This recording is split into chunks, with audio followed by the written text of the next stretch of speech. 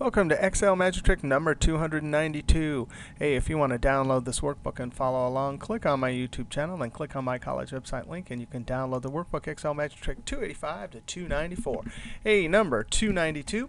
We want to take this name and list the first one first and then last name, and have no uh, comma. Same with here. Now, I've actually even done a video on this before, but I was trolling around the Mr. Excel message board last week, and I saw two great posts by Aladin and Ron Cotter, if I pronounce that right. So uh, we got to check these out here. Here's the one that Aladin did, and this is similar to the one that I've used before, but he has an added twist. Uh, we're going to use replace, and to get the first name, find this comma here and replace it with blank. And then we'll use left. And we'll say how many characters from the left do we want to go? Well, we'll find that comma and subtract 1. Let's try. Eh, and then we'll also I'll put it all in trim to get rid of all the extra spaces. Now I'm going to just type replace. The old text is here comma, the starting number, well, we're going to start at 1 because we want to replace everything to there. And how many characters, the number of characters, will we use the find. The find can find that comma in quotes, double quote, comma, double quote. That'll be the text to find. And then comma, within what text? This one right here. Close parentheses. Now, here's in previous formulas, I would just do plus 1. So then that would move the find position to the S. But we don't have to do that here. We can use the trim. And the advantage to the trim is if there's any other spaces anywhere else, the trim will get rid of it. Trim gets rid of all spaces, extra spaces, except for single spaces between words. So this replace, we have the number of characters. And the new text we want is double, double quote for blank close parentheses. If we highlight this right here and hit F9, we can see it gets Sue, but there's an extra space.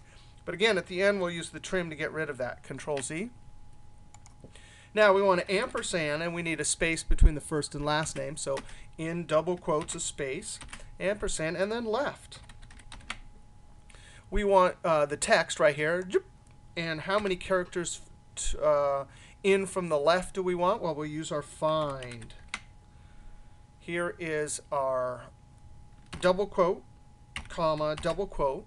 That's what we're looking for within this text right here. Close parentheses.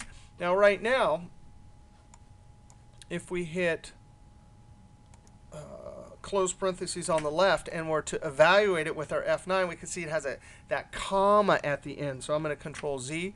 And so we want to actually subtract for the find minus 1 because it found one character is too many. So now when we highlight this and hit F9, you can see that it got rad cool in it. How'd you like to have that as a last name?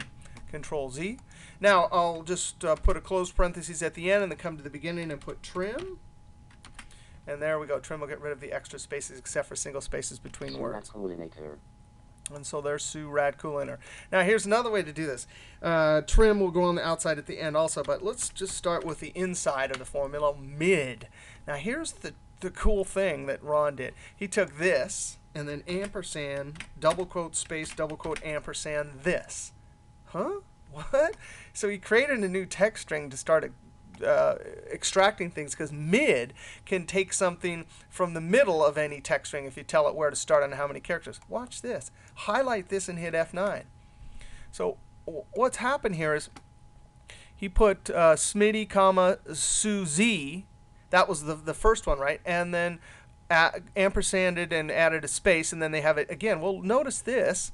Uh, Sue Z Smitty right in the middle of this concatenation, right? This is the end part to the first one, and then an ampersand and a space, and then this is the first part of the second thing. If I control Z, you can see that we took the, uh, the last part of this, a space, and the last part of this is what we really want.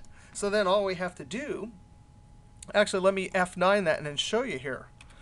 Uh, we can then uh, tell it to find this comma right here, and that'll be the starting position. We'll actually add 1 and get to that space. And then we can say the length of this, and it will start right there and go exactly the length of that and take that middle part. So Control Z, comma. Now we'll do our find, and we'll find what? Double quote, comma, double quote. And then the second argument is within what text right here.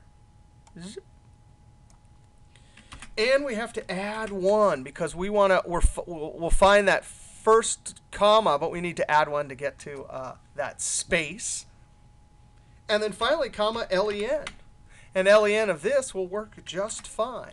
Close parentheses on the mid. Now, let's highlight this whole thing right here and see what it's actually doing. Hit the F9 key. So it got it exactly right. We just need to put the trim around the outside. Trim. Again, we could have added or subtracted a 1 inside somewhere and uh, and done this a little bit differently. But the advantage to the trim, just as we saw here, is that if there's any other extra spaces, it gets rid of those also. Now I'm going to control. All right, we'll see you next trick.